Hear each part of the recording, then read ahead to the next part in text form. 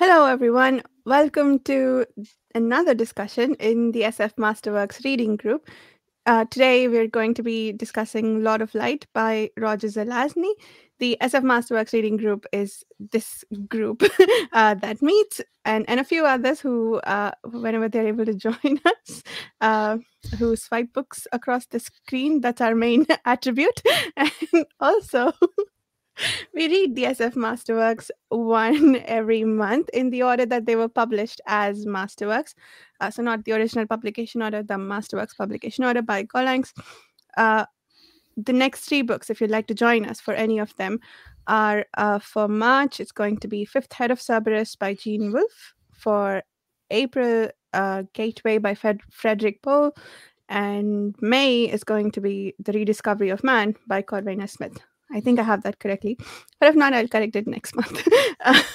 uh, we have the wonderful group of people who join us usually for the discussion. Susanna, would you like to start us off with introductions? Hello, my name is Susanna Imaginario. I am the author of Timelessness, and I run a YouTube channel called Den of the Wyrd. Hi, I'm Jared. I uh, run the Fantasy Thinker YouTube channel and uh, also post an occasional blog on pagechewing.com. Nice. And my name's Chris Mohan. I run a YouTube channel as well. I post in the Patreon forum. I'm part of a podcast called Speculative Speculations with some of the lovely people on here as well. And yes, I think that's my lot as well. Nice. So I think I, I'd like to start with a general question. I am super familiar with all the names on in this book uh, and all the gods. Some of it was confusing. Like I was telling Susanna earlier that um, we saw uh, different people for Vishnu and Krishna, or different people for Rudra and Shiva. They're all like they're the same god, different aspects of them. So like some of that was confusing, and I had to keep reminding myself that these are god, these are people, not gods.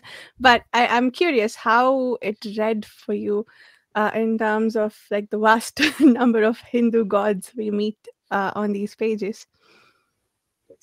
Well, I know very little of Hindu mythology, so I was quite lost with all the names, and especially since every character seems to have three or four of them and uh, uh, but i loved it because I, I was curious to learn more about it and i loved the structure of the book and you know if anyone read my stuff they would understand why i mean i wish i would read I, I would have read this before I wrote my own because this is exactly the same sort of madness. The prose is different, but uh, exactly the same sort of madness. And I was delighted to just be be confused and i can't wait to go and investigate all this because now i want to know all about it and i i was i was really happy with this book nice yeah and i i have read uh three and a half of your books and i like I, I was I was I was telling you earlier too that this feels a lot like your books with what you're trying to do with like technology and uh, magic, except the technology is more recognizable in Susanna's books. But yeah, Chris, what did you think? Uh, my first line in my notes, my extensive notes, I mean, this is this is a complex book full of mythological and deity references, much of which is completely lost on me, which is why I started taking as much extensive notes as I did, because I found that it really, really helped in terms of writing down chapter by chapter for me to actually come to the next chapter and go, that person is also that person. Even before they actually tell me, you sort of know by the context of who they're talking to and how they're speaking to them that actually mm. Siddhartha is exactly the same as Sam, is exactly the same as the binder, for instance. And then when it got to later on and they started using the gods as as roles rather than actual people. So when mm. they replaced uh, Shiva, etc., and Brahma, um, then it, it actually didn't matter by that stage because I had sort of recorded it and sort of read it de- deeply enough mm. to the point that I that I kind of forced myself to take stock of who was who, and therefore it never really it appeared, which is uh, it makes me wonder how like I've seen people read this in two days. If you don't know the mythology and read it in two days, I am not sure how how you could follow it because I, I mm. that definitely was not me. I had the kind of it didn't read slowly, but read a bit, take stock, and then, as probably Susanna was talking about a little bit there, it prompts curiosity. It prompts you to do a quick Google and things. It prompts you to kind of go and look and see actually this person's come up again and again. Is this a real thing, or was this you know was this an actual person uh, Mm. within within the mythology? And uh, often you that, created another level of depth to the characters that wasn't even on the page, which was just great. Yeah, yeah. I, I I did think though that with each aspect that was introduced, none of it relied on foreknowledge of what this god is or what this aspect is. I thought that there was a little tag somewhere that said this is the god of so and so. So you know what role I suppose that they're meant to play in the story, and then you also have this added depth uh, if you know the mythology then i suppose you can read more into it but i i, I suppose it's possible potentially to do a surface level reading with just like even with just that i feel like there's a lot that you can get out of the story. What about what about you jared? Yeah. No it was it was very interesting for me. I i uh i was a, a little familiar with with uh with uh hindu hindu mythology and um and buddhism as well because i've i've read a lot about um you know i've recently completed a history of india Mm. book a, little a while back and so i was i was familiar with a lot of the terms and stuff like that but even then some of the um some of the names and some of the aspects even are c- uh, can be kind of fluid at times Mm. um even in even in history so uh and so it made complete sense that you had six or seven names just for just for sam you know Mm. um and that that tracks that tracks with actual historical stuff that you know there's a lot of names for for the buddha out there. And um so it you know it took a while to get into that. And there were some parts of the book where it was like okay i'm a little bit lost right now. But uh you know you just keep reading and the the prose is pleasant. Mm. uh, so it it it's you know it's it's uh it's kind of lyrical in a way and kind of uh, pleasant to read and so you you get into the rhythm of reading it and the names the names fall into place after a while and you start you start figuring out who's who and uh and uh, I, I really like how he put all that together because um it, it it was uh it made it a pleasant read even if you were confused about exactly what was happening uh Mm. you you eventually got into it and i have a feeling that if you went back and started reading this again uh you you would you would get that feeling of oh okay all right i remember this from before and now it makes a little more sense but even then i think you could still get a little bit lost in places Yeah. even on a even on a reread you could because there's a lot of like you said Vasha, there's a lot of little subtleties in there that he he gives little hints along the way and and he gives little hints about um identity Mm. um and uh and he also gives all those nifty little hints about technology too that Yeah. if you don't catch those it's just a fantasy story but if you catch them it's Yeah. also it's also goes into science fiction you know so it's Yeah. really neat how he did it yeah yeah Yeah. I can't wait to read it again. It's definitely a book that was meant to be reread, Mm. uh, which is the sort of book I love. And uh, because I'm, I'm sure I missed loads, you know, the little aside. Yeah. It Oh, took yeah. me a while. I mean, I love the the start, very strong start. The, that 1st uh, paragraph is, is brilliant. And then it kind of, I know, I was getting too confused. Think, what the hell's going on? Uh, I'm not sure about this. Yeah. And then it suddenly clicked. It's one of the books you have to persevere, and before you know it, once you have the when, when you are in that wavelength, I don't know that that the, the mindset, then you start picking up in the in those character traits and even in, in ah, so good. I'm gonna have to read it again. Proper immerse reading. so Yeah. much of the chapter felt like there was some kind of lyrical setup, some sort of description, but yeah, just about in every chapter there was a couple of key conversations between two characters, Mm. and a lot of the the ideas and a lot of the conversation, a lot of the the joy that really came from those really lengthy conversations where they kind of poked at each other a lot of the time about ideologies and and that kind of stuff, and about what a god should be doing, what a god shouldn't be doing, and by the time you'd got two chapters in, you were like, this is gonna be fine. Like there's there's a bit of exposition here to start for set the scene for where we are in the world, what's happening, and you know, I had to get over the fact that every time I thought a character was dead, I was like, but they're not dead. Um, constantly, you can't constantly, kill the god constantly- of death. I can't, I can't kill him. I can't kill him. I can't kill him. And then we find out that sometimes the cheated death and all the rest of it. So having reset the scene, but then to get to those character moments or those bits where the conversations were happening, and then going right, get my pen ready to take notes. We're going Mm. Again. Yeah, and I, I I- love how they would just test themselves in this casual way. Let me see if I could try to kill him today. See how it goes. Yeah. And I'm just like, That's hilarious. Yeah, I mean, there's so much. It it must have been real, really fun to write, and uh, and yeah, like you said, there's a lot of dialogue. Most of the book is dialogue. Mm, It's just them talk banter more than anything. Just just talking at it, and I, I love that. You know, just the. I, I, I could have used some a little bit more dialogue tags. Uh, sometimes I had to reread. Mm. Okay, who's talking Yes. now? it was, but, but uh, yeah, I've I've read a couple of reviews where people complained that there was a lot of talking, and uh, and it's like, why are you complaining about this? Is this is Mhm. great? It's, Yep. it's all about talking. but combine the lack dialogue talks with actually the different names that everybody had, and sometimes you weren't able to actually place somebody until like three pages into the conversation, that even Yeah. uh, that it was Sam or that it was it was somebody else because of the the way that they've been introduced, and even like even the one human character Robin here, even he gets a cha- name change because he takes on Buddha- Buddhism at the part, and you're like, what what what what is happening there? Yeah. Oh yeah, the Sugata thread. Yeah, right? real yeah. yeah.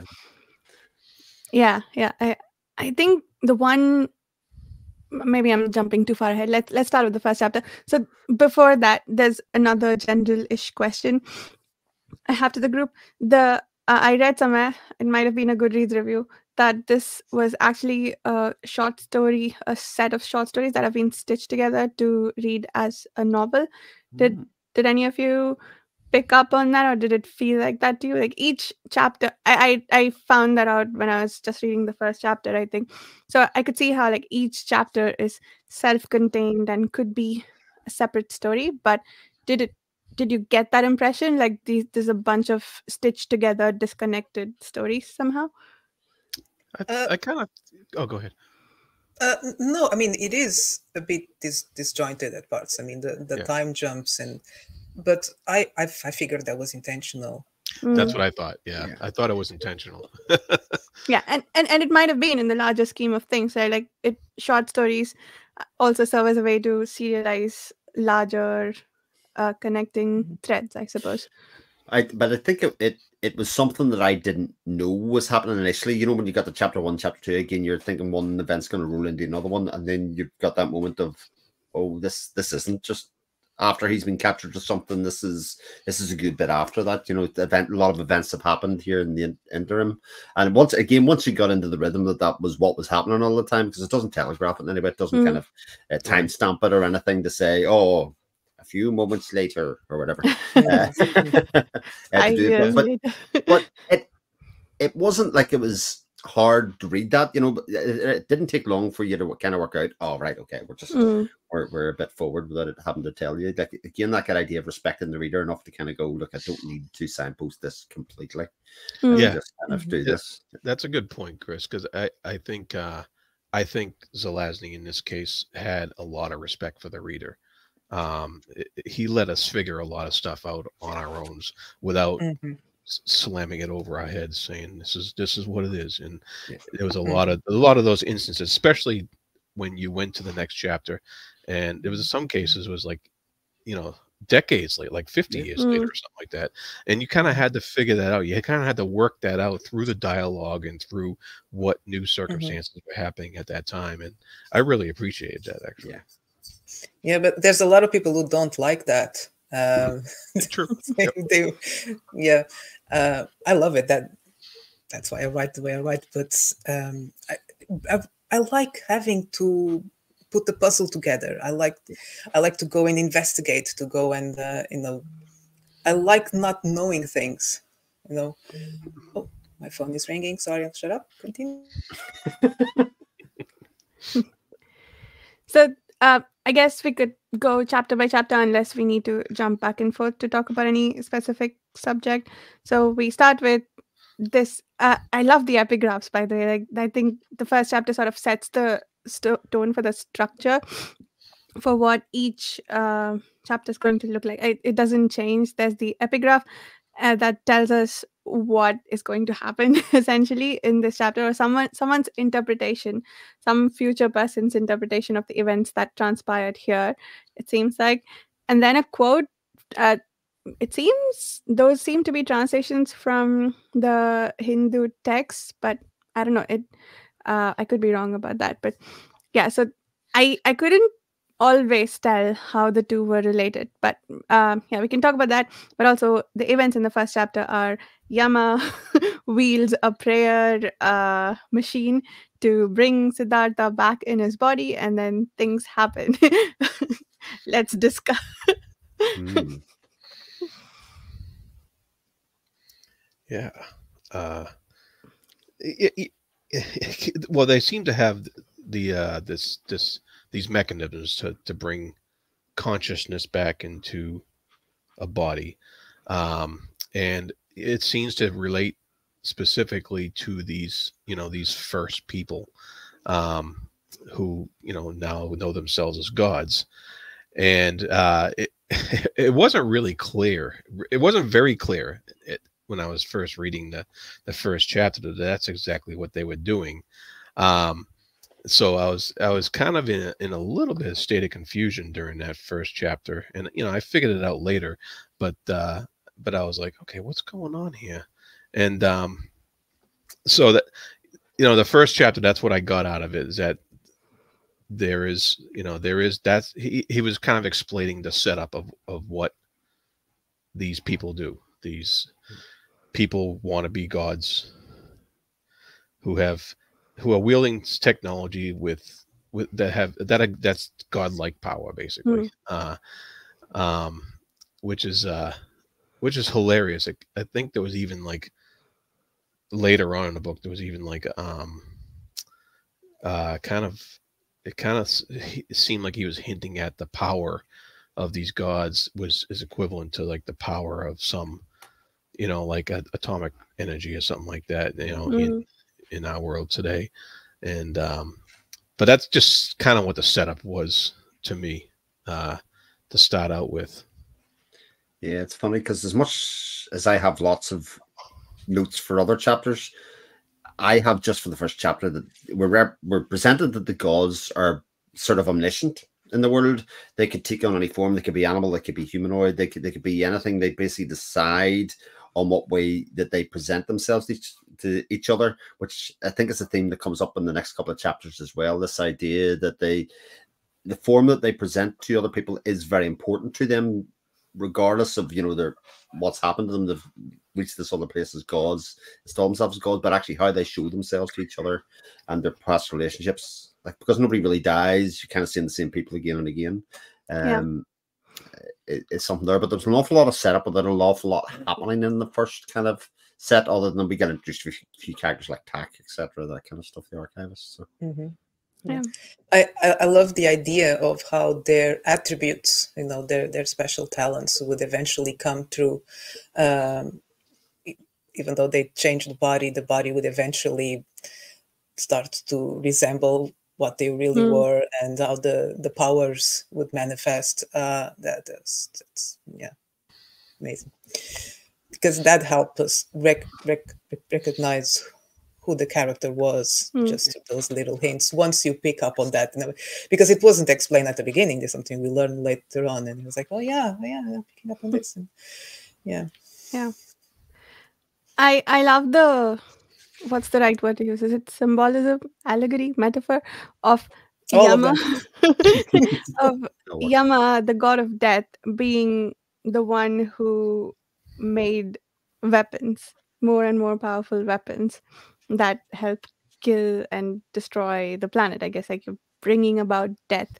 So he's mm-hmm. the god of death. I I really, I it wasn't immediately obvious to me like how what a genius move that was, but I appreciated it a lot more towards the ends of the book. Yeah. Plus, at the very, very start, we're the very first thing we're done is introduced to this main ca- our main character, who Mm. happens to be Sam, Um, and this phrase that appears constantly throughout the book. The his followers called him Maha Mahasamatman uh, and said he was a god. He preferred to drop the Maha and the Atman, however, and called himself Sam. He never claimed to be a god, but then he never claimed not to be a god, which is used numerous times throughout the text. Yeah. Uh, and we go. Mhm. Yeah, and that Uh, kind of that kind of relates to Buddhism in a way because Buddhism's not really a Buddha is not really a god, but a lot of people worship him in in, in a Mhm. godlike way sometimes, and so it's it it, it straddles that uh, that mid between that Sam was actually explaining, and it's pretty Mm. uh, brilliant that way. Yeah. And in a much later chapter, there is this discussion of what a god is. I think it's Yama. Oh, I have it marked. I loved it. Here it's folded, written on, ripped out. What, what, what, what, what way have you marked it? Folded, Sam? written. on- A dagger through it? No. Page 161. but then you can't see the words. In blood. Just a highlighter with Uh, red. 161. There we go. It, it falls open. Mm, 161. yes. God, I- it is more than a name. That that that part. Yeah. yeah, yeah. Just, just beautiful. Yeah. Being a god is being able to recognize within oneself these things that are important and then to strike the single note that brings them into alignment with everything else that exists. So Mhm. basically it's like you have to have the audacity to think that you're a god and then you're a god Yeah, I love when he goes, being a god is the quality of being able to be yourself to such an extent that your passions correspond with the forces of the universe. Hmm. This this is this is exactly my sort of uh, of, of madness for timelessness. I'm sorry. Just, uh, but to, it, it, it did it so much better. I'm kind of jealous. Oh, Second edition, uh, Susanna. Line, you know, that's, that's what you go for. edition. Yeah. But the thing about the god and their definition of the god actually, again, is another one of those things that I felt popped up an awful lot of times. They do not, or they represent godhood and the things that they do in not doing godlike things, if that makes sense. So they, it's almost like being a god, they are bored. They have been reborn and done this an awful lot of time, and all they can find to do is mess and kind of tinker and play and create Yeah. like mankind or whatever as, as a toy. And even their interrelationships playing with each other to kind of devilment you know just to alleviate the boredom of kind of living for yet forever for themselves. And i mm. thought that whole thing was like eternally fascinating especially when you contrast with what sam is actually trying to do to change the whole system and, and why do it and because we then support sam as the reader quite clearly you know as Yeah. being you know our hero Mm. in a lot of ways. Even though he's he's he's a trickster, he's a he's a character full of devilment. You couldn't trust a thing that he does. Yet Yeah, Yeah. exactly. we're on his side. it, it is all preaching you know in favor of humanity and and development and, and all that and at, at the end of this long explanation of what a god is uh, i thought it was brilliant and then the first thing he says is so they play that on their fascist banjos eh so, after I was reading, I was like, oh, delighted, delighted, and then boom, just drops it there, and you just realize, yeah, okay, I guess it could Yeah. be seen that way, but what you're doing is not exactly that different. You know, is he's just trying Yeah. to impose his will on on the world. It's just that his will is not the same will as the others. Mm.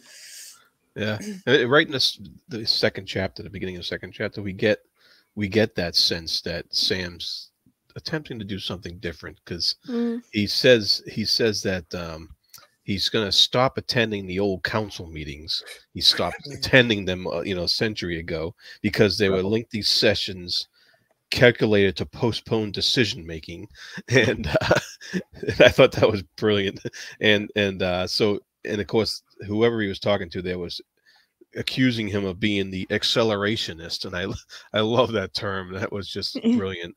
And uh, so, and he was like, "No, I'm just curious," you know. And, uh, so it's just the way he was going about his revolution, so to speak, was just it's it was like casual and yet Mm, subtle and insidious at the same time and it was just uh it was it, it made it so uh it, so it had a you know th- there was that humor to it that just made you Yeah. want to keep reading and and and just find out what this guy is going to come up with next mm. Maybe maybe it was the fact that each chapter was sort of self-contained and whatnot, but there's this distance to this character that makes it feel like what you said, Jared, that what he's going about is also casual. Like, yeah, he's trying to. Uh, it becomes apparent about chapter five that he's uh, trying to bring about a revolution, change the way things are, and stop oppression, uh, the way he sees it. And well, like the gods have their reasons. They seem to be selfish reasons for not sharing their technology with everyone else. But and they have this messed up sys- promotion system of rebirth and changing your caste and so on. Uh, Chris, do you want to? I, I was going to say, Justin, that they have the reasons, but it's based on the idea that a cataclysmic event has happened in their old world and Mm. technology was the ruination of the thing. So they are trying to prevent that happening again, but yet they say that they are just going to make sure that things happen naturally. Mm, But then Sam's point is, and this is where he kind of tries to shine a light on them to say, but you are erasing natural advancements. The printing press has been Yeah. been Mm. invented numerous times here. Uh, and actually, uh, I have to say, I love By the, that. time we get, by the time we get to chapter six and they're talking about the toilet, I mean, that's just bloody hilarious. Like, uh, uh, Yeah. that was properly hilarious. it's like uh-oh somebody invented a bicycle the world's going to go to hell I was like Oh, so god! But uh, but, that, but that whole conversation between Sam and Brahma, I think, again, is incredibly illuminating because again, these are two characters that have known each other for centuries, millennia, whatever you want Yeah. to do, and yet when Brahma's getting ready to meet Sam, he dresses himself up in the most extravagant jewels and kind of this kind of show of this is who I am, I'm important, I'm more important than you. And so the the kind of levels between these two people is shown to be that Sam's sort of oppressed, even though he's he's he's also a god, mm, which it's funny how that all plays out actually further down the line, you know, about, Yeah, about how they yeah. redress that balance and how, how he, he get he messes with that whole natural order. Mhm. Yeah. And the Brahma thread was also interesting because uh, in, in the second chapter, when uh, to your point about the gods being bored, and also I guess just the subtle bit of world building there, if you will. Uh, there's apparently Brahma used to be female and now has a male body and wants to be admired for their physicality and not for being a god. so. uh, Brahma just wants to be appreciated for his body. Don't we all? Don't we all? Yeah. Deep down. so I, I just made myself this muscular body. I didn't do anything to work for it, but now these these these women are dying for me, but not because I look muscular, but because I'm a god. no, it's interesting that you know, a- and then she or he was complaining that the the women in the harem they weren't paying attention, and I was like, well, if you were a woman, you should have known what women do pay attention to. Why you chose a, you know, that body? And it was- it's- I, I, I imagine something, you know, like like bodybuilder, but still very effeminate. Um, Mm. So yeah, that, that would not work. yeah, I thought that was hilarious, but also just I think with that bit of exposition, if you will, um, he showed us what the cycles of body can do. That the consciousness is fluid and it can go into any body, and maybe it, it's you're not like super tied to that individual body. But and, and to your point, Jared, about the accelerationist mo- movement, they they're never explicitly explained as this is what it is, except in that one paragraph where Tak talks to another person. I forget her name, but uh, is it Maya? Yeah, I think Tak explains to Maya uh, what the accelerationist movement is, but you understand it from context much before that, Yeah. which is also, I think, really well done. Like the whole trusting the reader aspect of it. Yeah. But but but also I went down such a YouTube hole with accelerationism. Like, uh, just uh, I, I read a post upon Reddit post upon Reddit post. Then I found a Guardian article, which I'll actually have to link to everybody, that goes in about how the actual advent of modern accelerationism started from this book. This this this book started that entire conversation. I was like, what? Get shut the front door because I think I, I, talked about when we were reading this uh, with Jared a little bit, basically saying like it's not very scientific at all. Like there, there's barely any sci-fi. Oh, yeah. It's very high fantasy in a lot of ways, but in in terms of ideas and the things that it was doing, it's probably the most sci-fi book in terms of like taking real, like creating a new uh, mode of, of thinking and then projecting that out in fictional form to then people to go ahead and look and see actually, oh, that's what's happening now. And you can take the lessons that are that are in here, like uh, I mean, the accelerationist movement is basically creating AI, and the fact that everybody's sort of embracing AI, the capital world's embracing AI, but it actually could end up being the death of it because mm-hmm. that's how accelerationism kind of works and thinks. And just like going, as, as with loads of these books, you're going, my head has just exploded. that somebody in 1967 had this in a couple of pages of a book, and then it's become this whole other thing to explain what's happening in, in society. Like 80 years later, and it's like, mm-hmm. oh, you know, whatever. Yeah.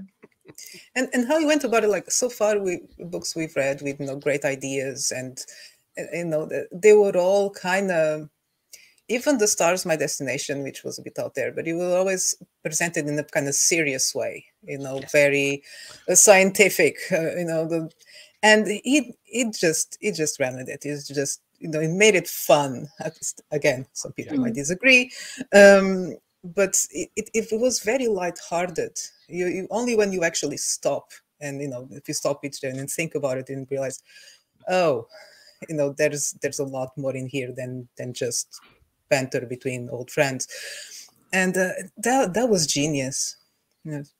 yeah yeah i agree i i love the um the description of uh the uh, entrance to um, to to hell.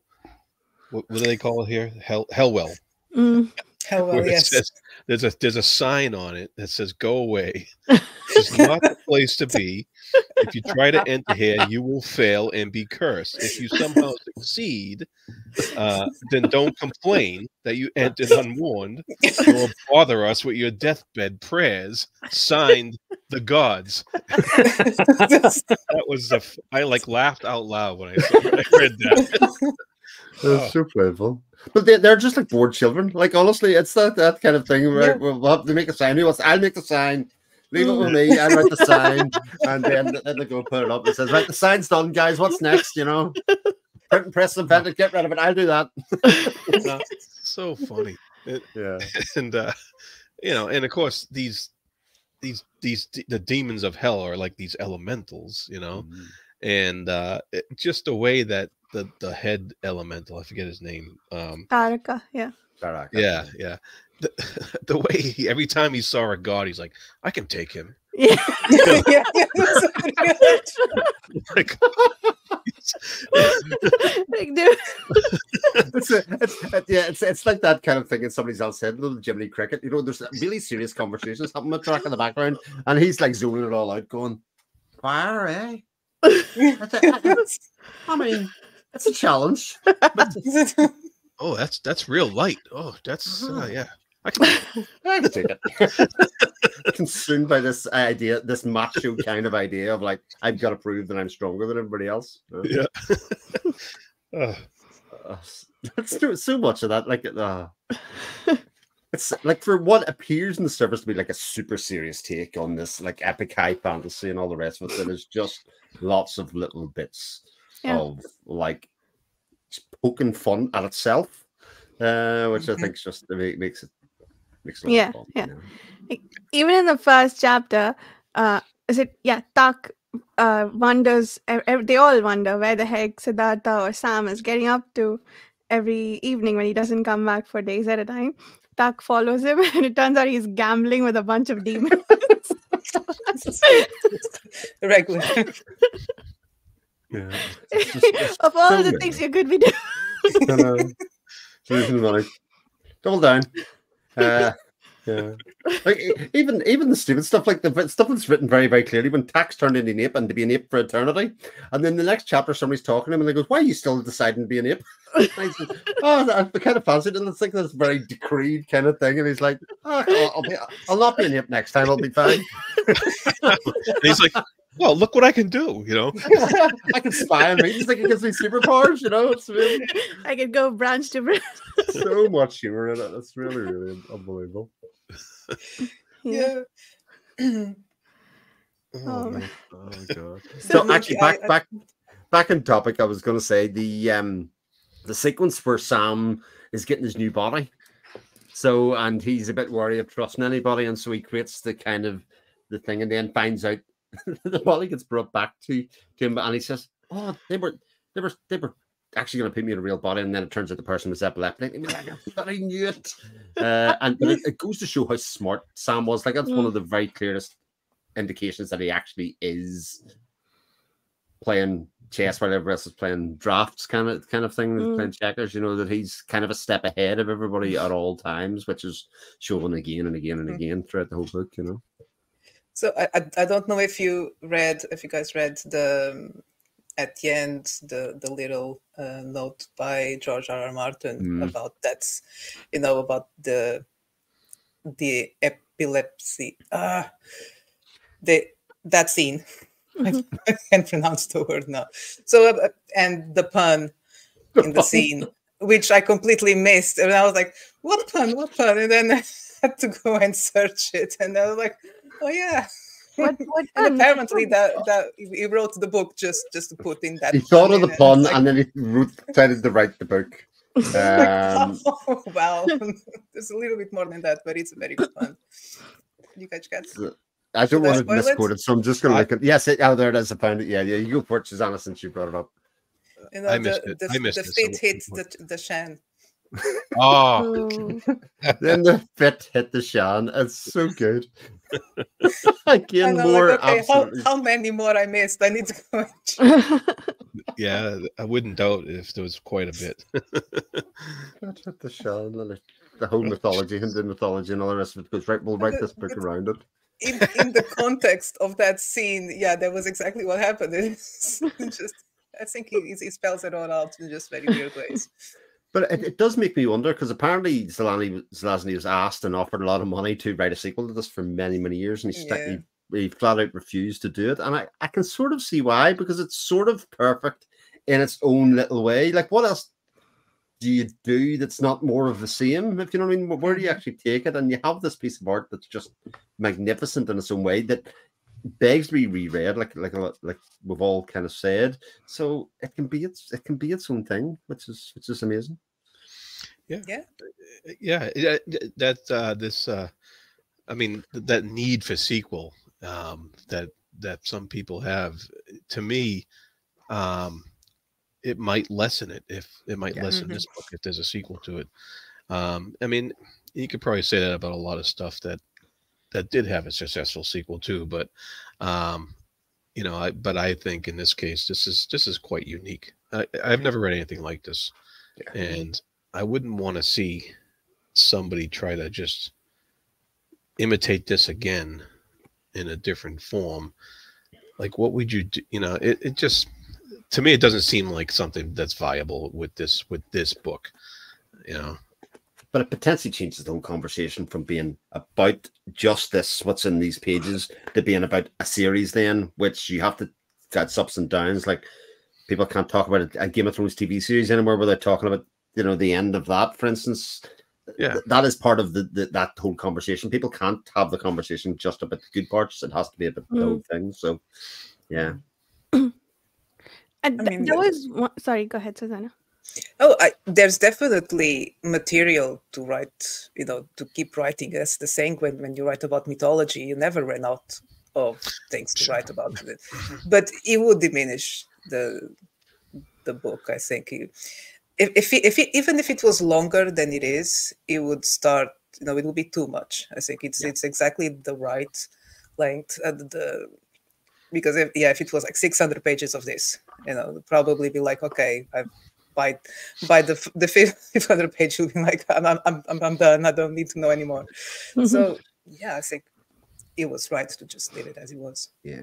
Yeah, because it's it's it's um it- the uh I mean the the basic plot of the the bat you know that led up to the battle at the end. Um, it's not very plot focused. It has that basic plot, Yeah. but the rest of it is is you know that uh, that exploration of this society, this technological society, acting as a mythological society, and and uh, that was the point of it, really, you know, and the the absurdity of it all Mm. you know is Mhm. is really the the focus and uh so i think trying to ex- like you said expanding it into a you know 600 page me- mega novel it wouldn't have worked. It wouldn't have been the same it wouldn't have had that same absurd impact that it does. Mm-hmm. But it's also sort of like completely genius, taking this mythological deidal society, you know, which was Hinduism, where people worshipped gods. How do you futz and break with that down? You create a new religion, i.e., Buddhism, that doesn't have a figurehead of a god, but is all about reaching enlightenment or various stages of enlightenment, which is not something that any of them can control. And only having one person in the entire book get there and he offers himself up to be killed. You know, it's in, in this kind of macho kind of thing. I could take him, but he knows he's going to die, kind of thing. But you know, the whole thing's like phenomenally smart, and and and why that was a threat to the gods, and why they felt that this had to be Yeah. pushed down and suppressed in whatever way that they could. yeah and he didn't Mhm. even completely get there he Yeah. said oh i just made that stuff up and other people followed it Mm. you know so Yeah. there's more irony on irony Yeah, there Yeah, it, it almost felt like he was. I read envy into the initial interaction between him and Sugata when Sugata is almost teaching him at this point. But I think maybe it's just admiration that Mm. you got to where I couldn't. Um, but, but I did want to say on the subject of expanding the scope of the book that it is, I, I agree that it is perfect as it is, but there's one thing that I thought it could have maybe benefited a bit from, but I don't know how you would add it without really maybe changing the whole thing. Is we have these gods, all of them, including Sam, who think they know what is good for the people. And we never see any of the people and what their daily life is, at least as far as chapter six. I we don't, and I, I doubt that chapter seven changes that drastically. So I I don't I, I think that would have been an interesting perspective about like what it is that the people want, how happy are they or not. And and and I think that would have helped me understand whether Sam is just one an additional person. Like what I was saying earlier that maybe I didn't finish was that Sam also the gods seem to be bored, like the other gods, quote unquote, are bored, so they are doing these random like playing you using the people on the planet as a plaything. But is Sam also the same? is he also just bored and wants to bring about revolution for the sake of it, or is he actually going to help people with whatever he does? We don't know that because we don't know anything about what the people actually want and maybe the point is it doesn't matter. Maybe the larger point is if you have these entities who are making decisions for the larger collective let's analyze whether that makes sense uh, in and of itself.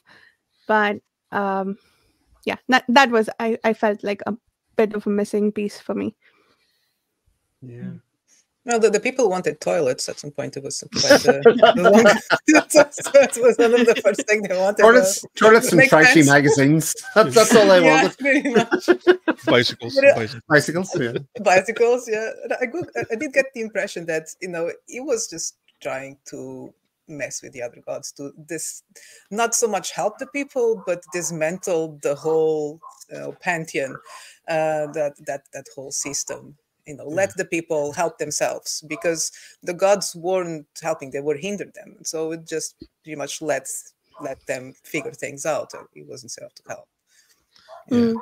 I think that was a point of the accelerationist movement Mhm. was to let the people help themselves. Um, because the gods the gods weren't helping them; they were just doing their own thing.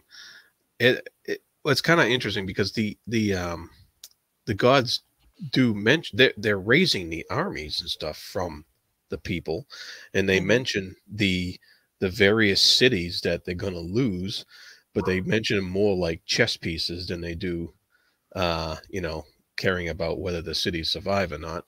And uh so like yeah like you said they're they're just using them. They're using everything. They're using it's all Mhm, a big game. And uh yeah you're right. You, you don't really get that mhm. that peasant yeah but, but but it's quite a vicious game because uh, at some point we, we learned that the people are their descendants because throughout the years and the different bodies they just kept procreating. So the, they're actually their great great great grandsons and and even that wasn't enough to make them care. That Mm. that was it was like wow.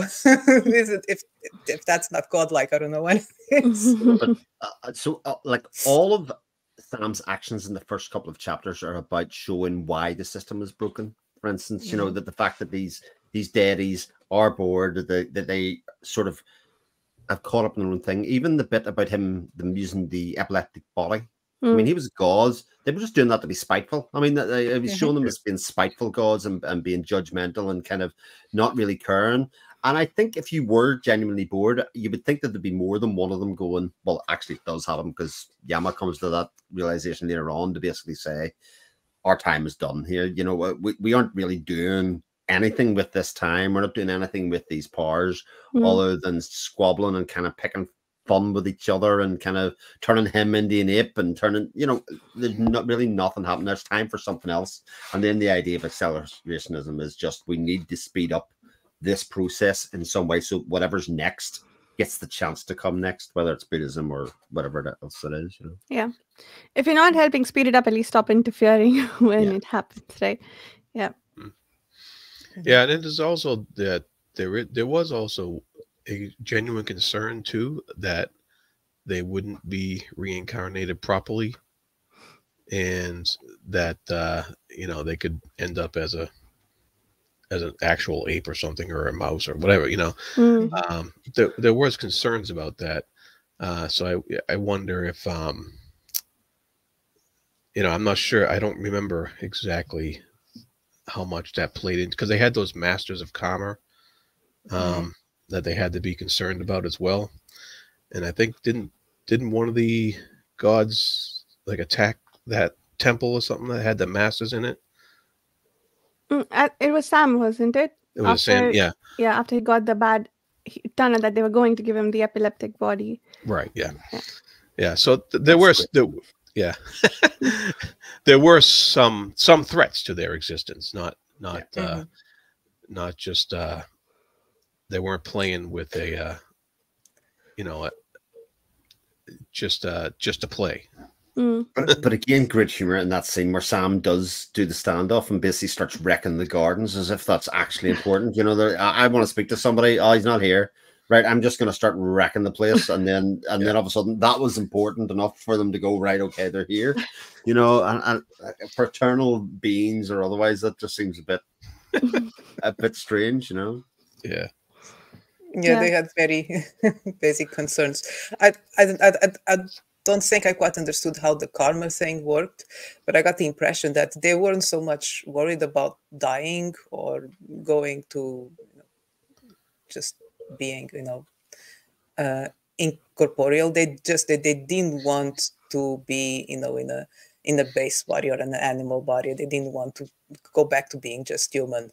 They, they were more concerned with the with the loss of power than the loss of life, because they, they, they took their their Mm. life for granted. You know, their, their their souls were already eternal somehow. You know, they just keep being transferred. He was, you know, spending you know fifty years as a as a horse or a or buffalo or whatever. That such an inconvenience. You know, couldn't Yeah. mess with that. And you can't end it early because suicide counts against you. so exactly.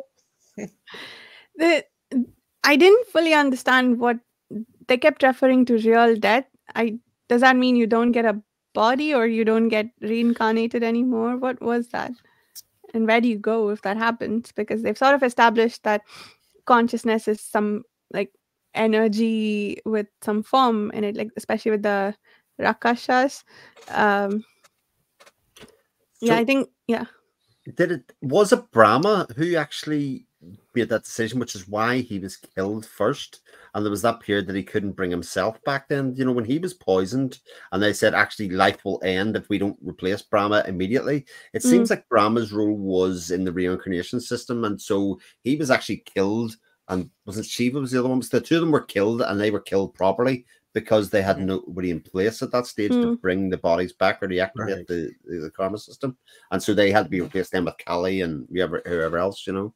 Yeah. Because- Mm, and that was interesting because they could it seemed like that was not just switching bodies to be the same god there was actually some switching of roles going on Yes. Mhm, you know, mhm. when they needed a role replacement rather than replacing a god you know and this uh so it's interesting how they could do that mm.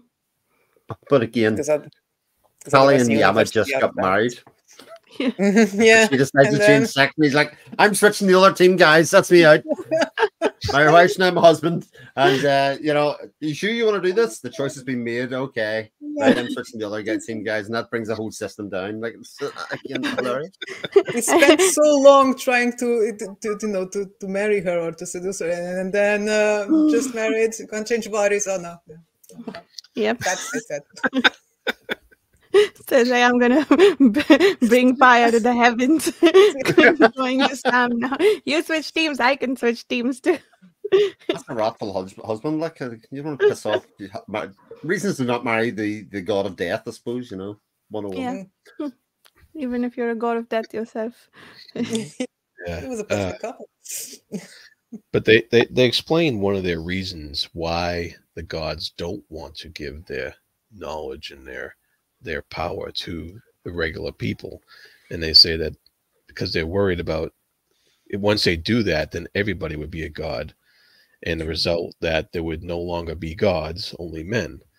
And they're they would they, they in doing so they would destroy their simple faith and remove all basis for their hoping things will be better which is you know a very uh selfish reasoning really uh when you when you think about it. But that is the reason for the um opposition to accelerationists. And uh it's just uh that you know that's how the gods look at it. And it's and it's just uh those kind of little philosophical statements um that he brings out every once in a while is the things that make you think and and uh as you're laughing around the rest of the the rest of the book you know? Yeah yeah yeah, yeah. they had the point. I mean things would get better for a while but then what would happen when everyone was a god? You know if if just with, with a handful of them the amount of trouble they were having if it was the entire pop- population. It- Yeah. it's probably what it's probably what led to past apocalypses you know basically. Yeah. uh, Mhm. so that's something they had to think about Yeah, but also this notion that that's very self-serving, no? That they they lose hope. Uh, they they what what was it again? That they they lose the ability to hope for anything because they're all gods, and that's essentially saying you don't have the ability to worship anymore because like who will you pray to? But yeah, that I found myself resisting that statement because like you don't you're assuming that this is the only way people get hope and that, that's just self-serving because you want to be worshipped for whatever reason like you're bored but um yeah it's definitely disingenuous and it's it, Mhm. it's uh it's very selfish yeah that's that's part of the that's whole the whole part of the uh their existence you know and that's it's part of the charm of the book yeah. But Yeah. I, I also think it's sort of like it would be nice to have somebody that was devout Hindu or otherwise that does believe in reincarnation and the fact that your soul will be reborn depending on your karma in this life. Because I suppose I was trying to think of it in, terms of the way that I was brought up in religion and this idea of heaven and hell. You know, the, idea of eternal damnation for Catholicism is is the end of the road for you as well. And again, a lot of the fear of that drives people's life. There is a sort of idea that you're living a good life so you can get into heaven at the end of the day. It's in Mm. much the same way as you scare kids with the coal from Santa Claus. You know, Mm. this, this is your chance. I'm phoning them. I'm phoning them to let them know that you've been bad, uh, and that's that's your chance gone. So it sort of is definite in in some religions, and and it's the promise of of the next life or eternal life that you don't, wouldn't actually die in that case. So maybe, maybe maybe if you do take that away, because the belief system's so strong that it does become everything else becomes unimportant at that stage. You know, I don't, I don't know. That'd be interesting to know is from the- somebody. Belief system. That, th- sorry, go ahead, Susanna. it, it's not so much the the worshiping i think it's the asp- the aspiration of being more than what you are of of uh, uh, you know the, the the ambition of improving yourself what do you do when you are you know as improved as you will ever be then you But it's a caste thing, right? It's bigger. not. It's not. Uh, it's not a power thing. It's a caste thing. Whatever power they have, it's from wielding weapons. Apparently, like even Agni has a Mhm, device true. to Mm, right. wield fire. So they're if you take away their weapons, they're all exactly the same as the human. So yeah, they don't they get to live forever and the they get different bodies based on like whatever uh karma, sure, but but that argument may maybe it's an admission then inadvertent admission but that these gods have nothing to hope for because they don't know what to do next. But yeah like it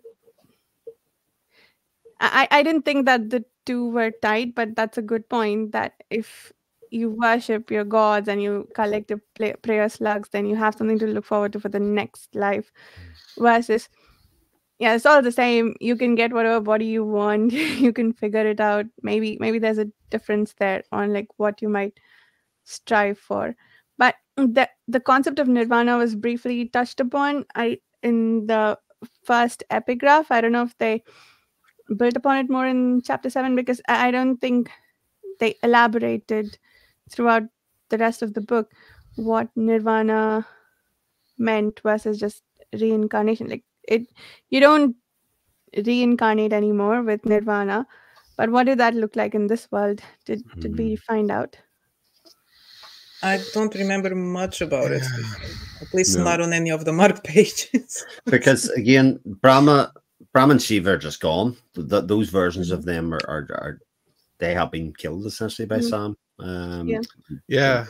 And interestingly, there was another god. Um, I don't remember her name, Oh, yeah, but um, she took on. She had the zombies, the one in Mm. charge of the zombies. Nirriti or something i Yeah, um, and and she took on, um, you know, the, the Christian aspect, and she Mm. was delving into that. And so it, it, it's interesting that he mentioned because he also mentioned some of the Muslim stuff at in that during the you know the second half of the book here and Mm. and the Christian stuff, and he started to bring in these other ideologies that some of the gods were starting to associate themselves with and be different versions of you know like either fallen either angels or what have you um as far as uh changing the names you know just the way that all religions morph into others you know so it was Mm. uh it was very interesting how that started to come about towards the end of the book like there was some sort of change going on Mm. and uh, is is very clever because he he uh, he started introducing those changes as a culmination of that final battle, mm, and and so you start to wonder, okay, well, what's what's the future going to look like with with these new aspects of ideologies and gods in Mm. this this weird science fiction world that he, that we're on Yeah. here um because like another question i had was what are the rakashas is are they like So- an alien species they were the um i was going to explain what rakshasas are in hinduism but uh they uh they're just the original mem- uh people of this planet. People of this planet. That's Yeah. right. Okay. So these guys invaded, locked them up, and called them demons. and uh, there was a nice line there where the Rakasha says, uh, "You, to us, you are the demons because you Mhm. invaded our home planet." It's it's Am Legend, isn't it? You know, it's, it's very much that, that idea. It's a borrowed Yeah, things yeah. from, yeah. Yep. Yep. Yeah. Very cool. yeah. yeah. But uh, I mean, I'm going to jump back here. But the, when uh, Taraka inhabits Sam's body, and he discovers the concept of guilt, and because he can't Mhm. work out why he's feeling weird and all that, all other stuff. Mhm. Again, that exploration of that as a because again, guilt is linked to worship as well, which is a thing that obviously Taraka and the Rakasha have not sort of encountered, if you know what I mean, in terms of these deities. And they got a sense of that at that stage, and he was like, I don't like it. Yeah. Don't like it. I'm going here. And and Sam explains to him actually, but once it's like almost like original Cinderella, once you've been open to it and experienced it, you don't get to turn it off again. It is it is a very concept of being man and worshiping and doing all those things. And I thought there's another like a massively big idea in here that, that's just explored within the concept of somebody taking it over. And then they use it obviously in terms of how Sam is able to escape later on and do all of that, that other stuff. Because when Brahma and Shiva are killed, we know it's Sam, but as far as Mm. we know, he's dead. But Yeah. we're like, how, how, how is it Sam? We know it's Sam, but how did he do it? And it creates that mystery and stuff. So that whole sequence, oh, so delicious. I just like this, eating this book up. This is so good. I'm, I'm Yeah. gonna go in on just a wild um, spec- speculation here, since we're you know talking for an hour. Because uh, the thing that got me hooked on on the book, because I, I it started well, and I was like, oh, I'm not sure. So Sam, he, he feels guilt, and is all about you know destabilizing, saying maybe helping the people, maybe not. You know, it's kind of a trickster. Um, and there's a bit at the beginning when he's a prince and he goes and talks to um, the old man that I forgot his name and I can't find it. And he says, It's a long way to Tipperary. And uh, that was what, what hooked me because suddenly I was like, Okay, thi- thi- this, this is going to get very weird. So even though everything is kind of based in the Hindu mythology, I kind of had the idea that maybe it was Catholic that's why you know that sense of guilt Mhm. and responsibility and help others and compassion and etc that it was ingrained in his attribute let's put it this this way Mm. and that's what was clashing with uh, with many of the other you know, gods Mm. Yeah. Mm, A- and- definitely, and, uh, be yeah, a yeah. yeah, it's infused in there subtly, and the uh, the um, and and you get a sense that all this stuff has played out before. Like this Mhm. is Yeah. this this is not new. This has been repeated, even when Mhm. like the uh at the end there when um Nirriti was talking to his her uh general there and told and said escort this man i think it was ganesh escort this man to where he needs to be or whatever and release him unharmed and the general asked her would you trust this one and she says yeah but i'll give him his silver afterwards And that was a yeah. direct Mhm. Mhm. direct you know Yeah. re- re- uh reference to of course to judas you know Just and scared, so yeah. and uh so you know it was all in there it was all infused in there subtly and, and he's just like okay i give him his you know th- this has happened before and Yeah. and all this stuff has happened before and uh i just love that cyclical sense that was going on here because that's that's how a lot of mythologies are they're, they're cycling Yeah. like that they they clash and then they evolve and Yeah. yeah you have you have your ragnarok it starts Mhm. over and and and Mhm. that's and that's how it goes you know It's the Matrix. It's Wheel of Time. It's all of it's all, it's all it's all of those stories. Uh, I had another large note about again talking about the topic of reincarnation, and I'd completely forgotten this until I read it there. Do you remember Sam runs into his daughter? So Sam runs into his daughter, and they have a conversation about the fallacy of reincarnation. Because she said, "Do you not know I'm your father?" And she says, "No, but you've changed bodies so many times, and every Mm. time you're Mm. reborn, you become a slightly different person. So you aren't my father." Mm. you are Yeah, a- yeah. you are an ideal Yeah. your your legacy is a lot of generations ago, so she had no connection to him uh, on, Mm. on a level in terms of like uh, passing down kind of responsibility or otherwise, and it was very much no. Yeah. These two things are different, and again, another really big idea wrapped up in a conversation between two people. Yeah. it's like right, okay, Yeah. this is this is the idea of divinity as a tool rather than rather than a kind of like parenting as we yeah. as we know it. That's a big idea, both on the on the god divinity side, but also on the science fiction side. Yeah. Like if you could Mhm. transfer your consciousness to a bo- different bodies on a science fiction type manner, would that also have that? Yeah, that's Yeah. Yeah. that's huge. I think. Sorry. Go ahead. I was going to say, especially if you could transfer yourself into into like a beautiful body, like that would no doubt change you in no ways. You'd, you'd walk around with your shirt off, whereas me now, and never doing that, you know. But if, if I could just get a new body, that might change everything about me. And I think that's part of what the daughter was talking about. It's the fact that actually every new body that they go into changes them to a certain aspect, Yeah. aspect Mm. or, or, or feeling, and changes Yeah. them a bit further away. Mm. And I, I think the chapter with uh Tak and Maya, I think that's the conversation, right? That was pretty expositionary in that it it also had this conversation about uh Tak reveals that he is um Sam's son and he's he has this attachment to him for some reason and that's why he chooses to help him even though apparently he has no ideological similarities with him he just is attached to this fact that he is the the son of this great man uh, who's well known and and and in that conversation they talk about what it means what uh parenthood means and uh, I I didn't notice the the bit that you were talking about, Chris. Maybe it comes after the point where I left off reading for this discussion. But the um, but yeah, I, I thought that conversation was wonderful. Like I highlighted that bit because it brought out the exact same point that you, uh, we are all we change, we reincarnate, and the parents reincarnate too. At that point, like how are we related to each other, and Mhm. what does that even mean? And in that connection, there's also this thing. I think Sam and uh, Kali are having this conversation, and Kali asks him, "Do you love me?" And he says, "The man I used to be loved you then."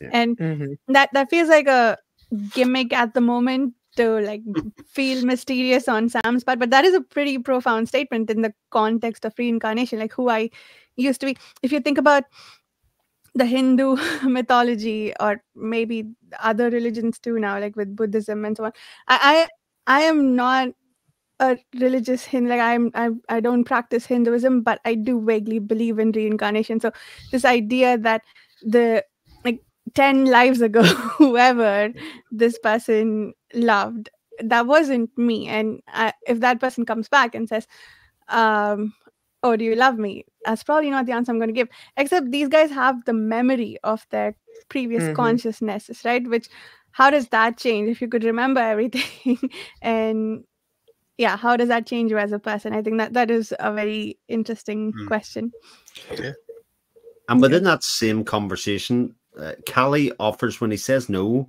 and she offers him uh, a virginal body and asks him if Mm. that would make a difference from it. So again, this idea that this deity god, the p- higher powers, are also tempted by flesh, you know, Mm. and, and in much the same ways. And actually, the, the there is no difference between the gods and man. You know, Mm. a, a, a lot of times happens a lo- lot throughout the uh, through throughout the books.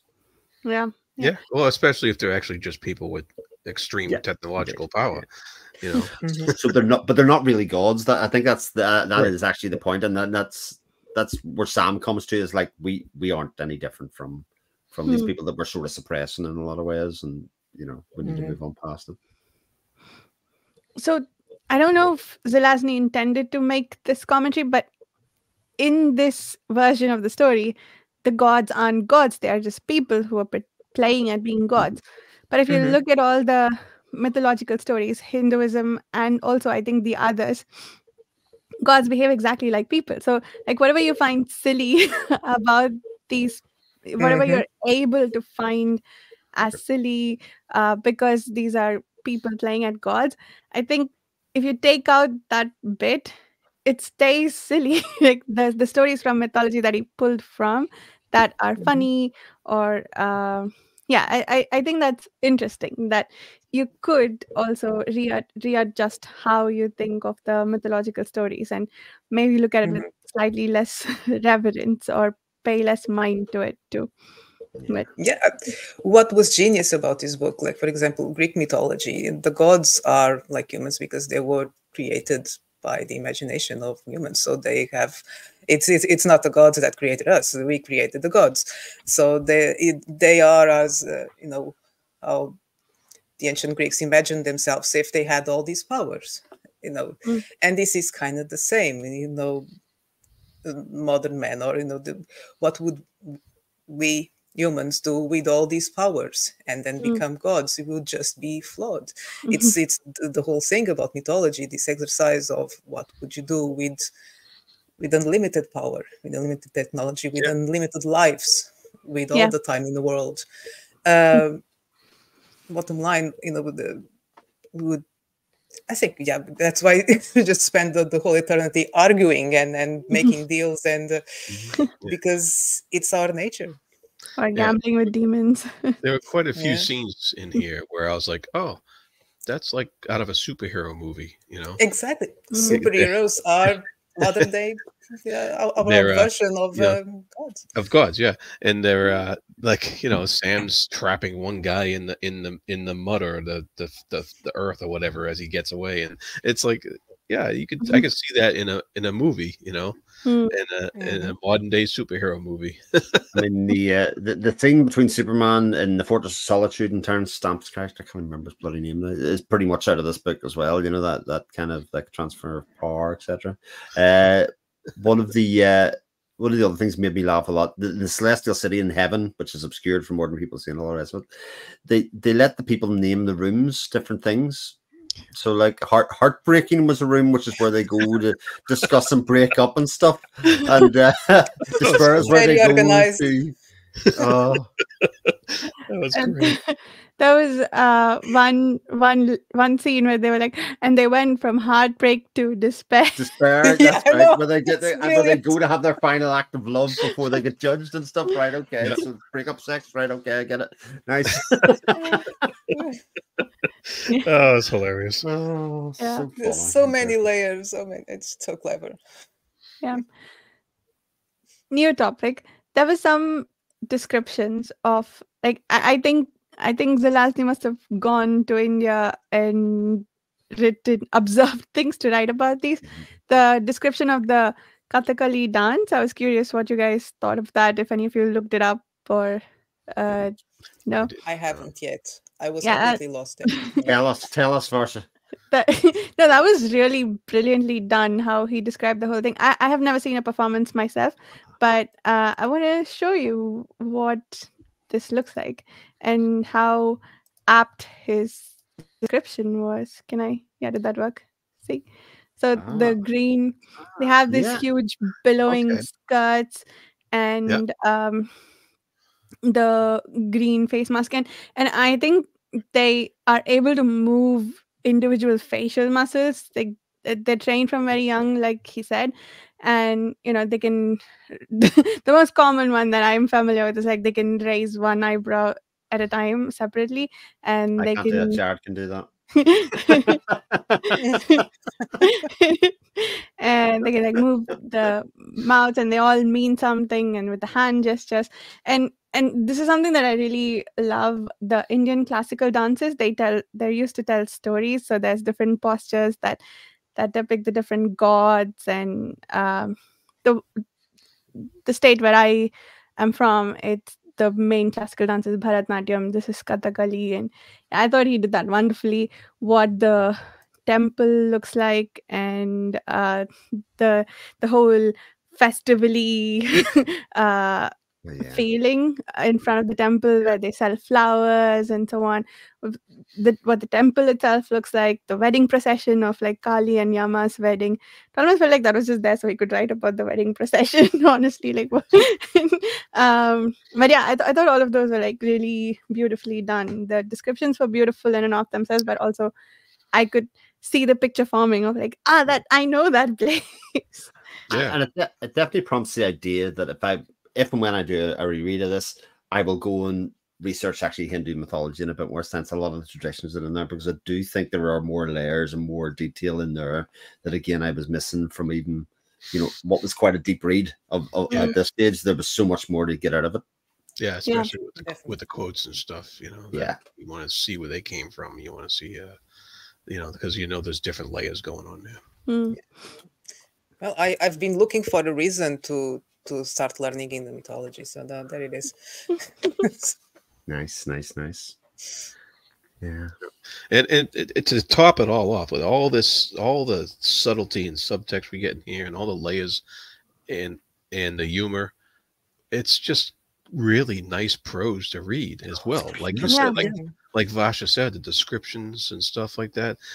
And uh, so I, I really, uh, I really start to see why some of our modern authors are quoting this guy. And like, you know, this one has this, this book has a Gaiman, uh, Neil Gaiman uh, quote on it. You, you guys mentioned Martin quote, and you know, so th- you're starting to see why everybody's looked at Mhm. his writing as a um, as an influence and as as a uh, something to hold up as a classic. Yeah, it, because I, I I can imagine being quite revolutionary at the time, because I'm, I'm sure some someone mixed mythology with science fiction before, like probably, but to to write a science fiction book almost as if it was a fantasy book, you know, it, it, it it's not quite science fantasy. It's uh, the prose itself is is it's closer to what you would find in a fantasy book um, than sci-fi, and it, it just changes everything. And then you add mythology, which is you know fantasy to the, to the mix, and just yeah, genius. I really wish I um, read it sooner. And, and there's no doubt about it. Obviously, we're reading the Wars of Light and Shadow. I think I said this to somebody beforehand. There is quite a sense of a strong influence on on Janny's work, Janny Wurts's work there it, throughout throughout this book, even in terms of light being Lord of Light being one of the, the main concepts of it, the technology disaster that's happened in the past, a lot of that stuff, Mm. and then the elevated prose that's in here uh, that it reads sort of beautifully a lot of the way through it, and and then you get your moments of dialogue, etc. As you do in Janny's, like that's. uh I, I think it's a, it's a clear inspiration in a lot of ways, and what, what a good template if you're going to do use one or you know a- Mhm. as as a source for ideas and generation. You know, Sure. Mm.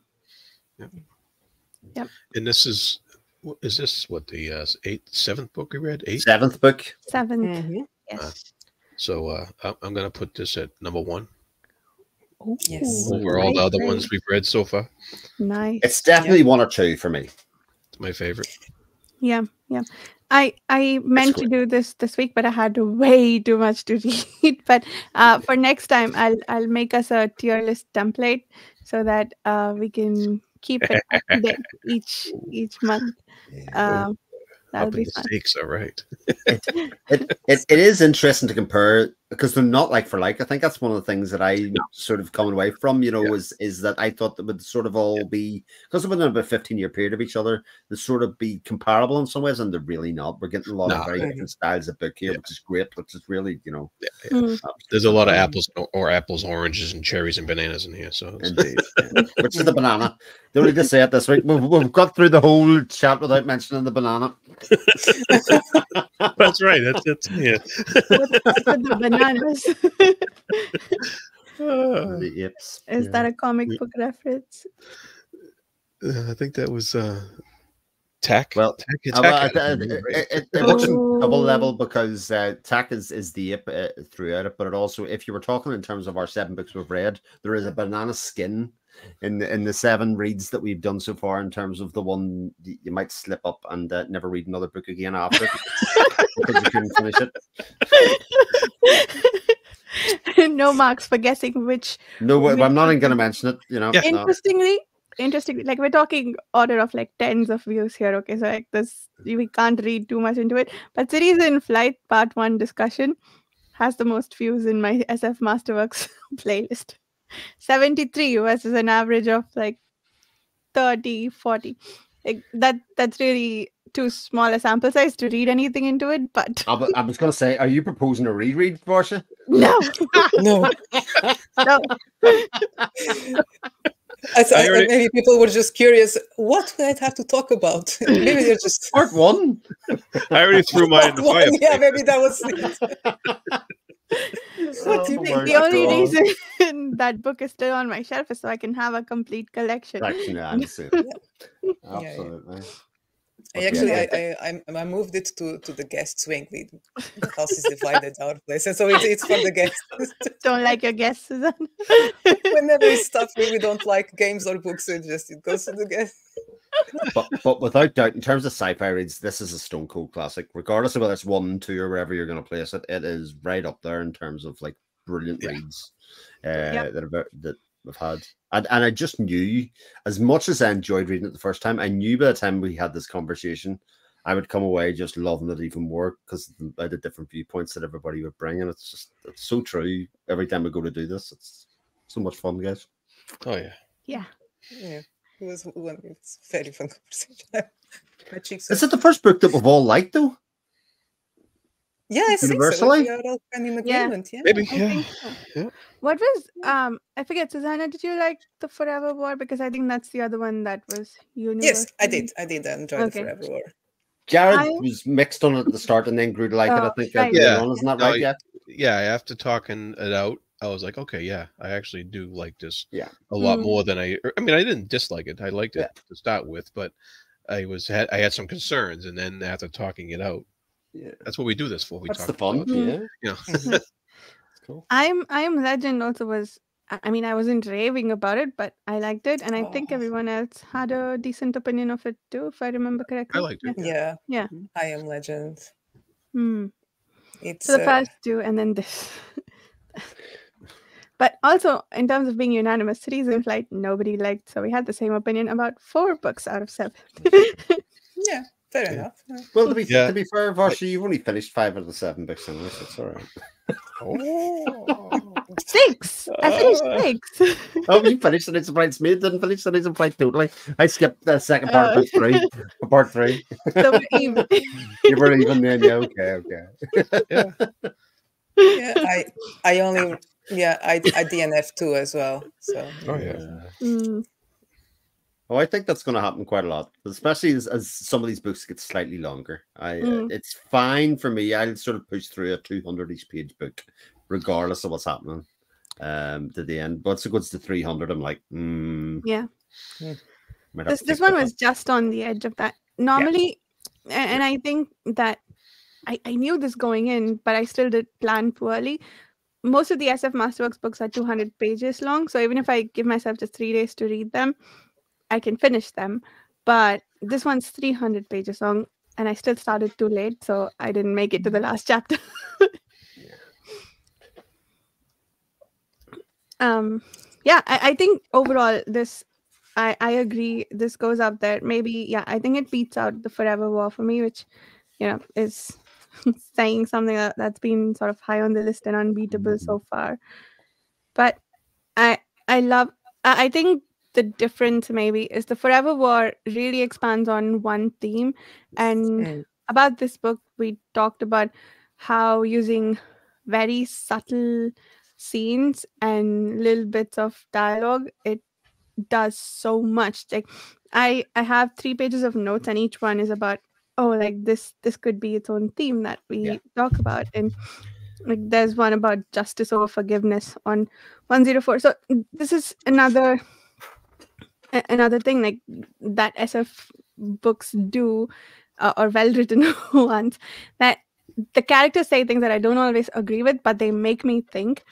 And like if i don't agree with it i have to sit back and think about okay what about it is it's not immediately obvious to me. I'm like okay what about it is jarring to me right? Like the thing about uh, the case against accelerationism for instance. Mhm. like you're making sense but i'm i don't like what you're saying so i have to think and like really break out what it is i disagree with I, I, I should encourage you to read some of the the um the Reddit threads on accelerationism. It oh is really yeah bloody hilarious.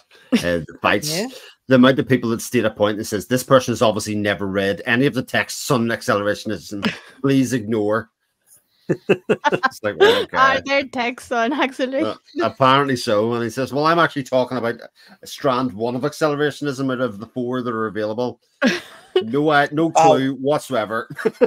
I- it's interesting that accelerationism is a thing in our world because by definition this is about a more advanced group giving technology to a less advanced group and whether it's almost like the um is it cultural relativism argument like do you change a culture and or let it evolve on its own it's almost like that except like a very twisted form of it but yeah it- it's very much about the idea of prioritizing automation over basically any anything else. You know, the fact that you, you Mm. and in doing so, you will accelerate. It's almost like the existing system or whatever you're you're you're proposing to do that to will uh, sort of eat itself, and that Mm. it won't be able to, to stop itself. Once you start automating everything, it'll kind of just do away with it, which is kind of this.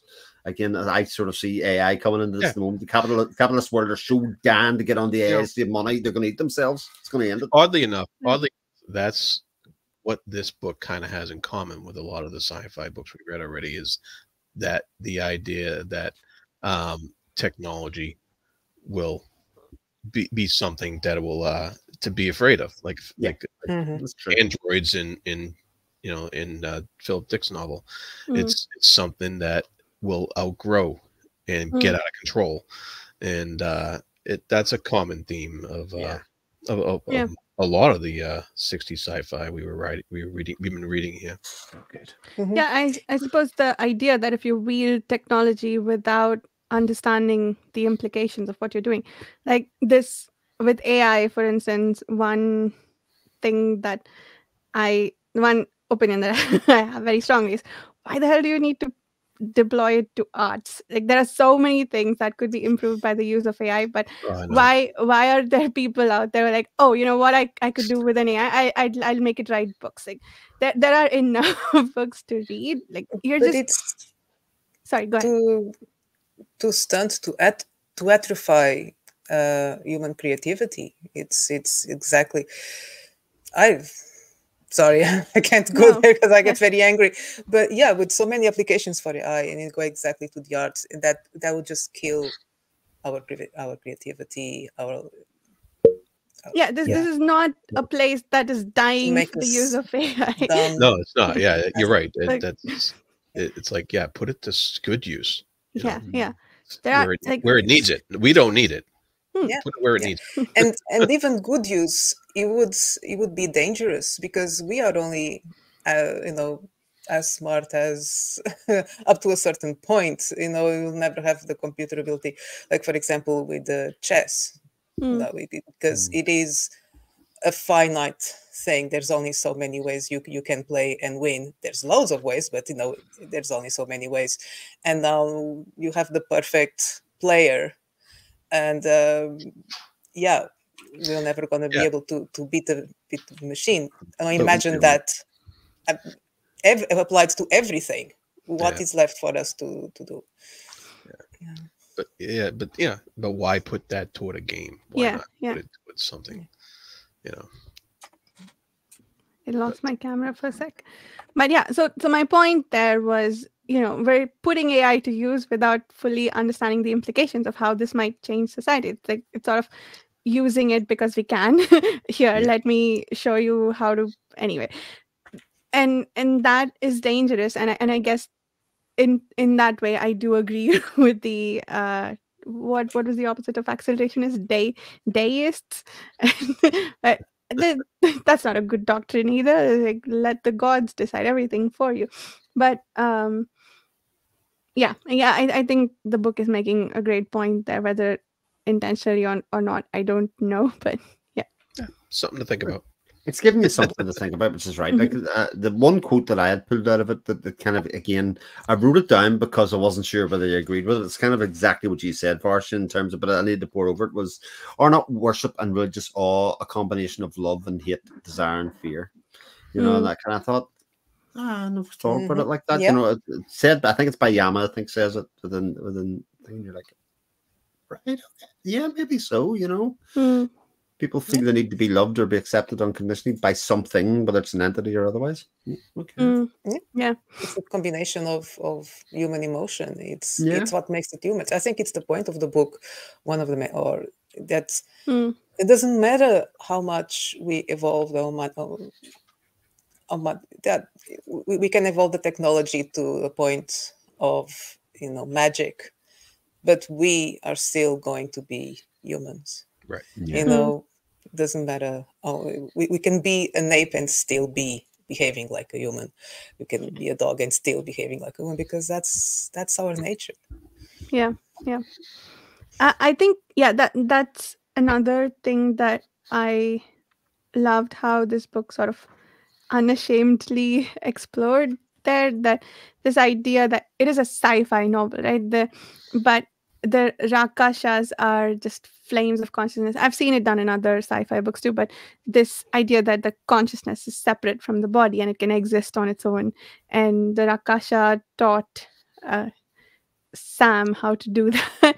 I think yeah that, that that's brilliant. And and it ties back to the idea of reincarnation and uh like in the mythology or religion um yeah that that that's one bit of hinduism that i can get behind.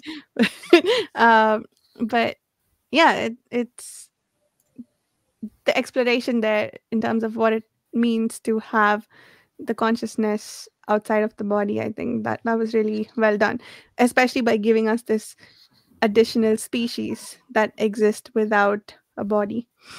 Hmm yeah oh, so much Yeah. to explore there yeah part two And Oh. now he has guilt. Ah.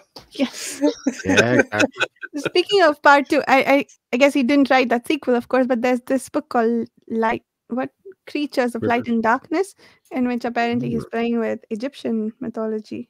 oh oh Oh yeah. Mhm. He also yeah. He also has a book called Lord Demon, so I'm wondering what that's about.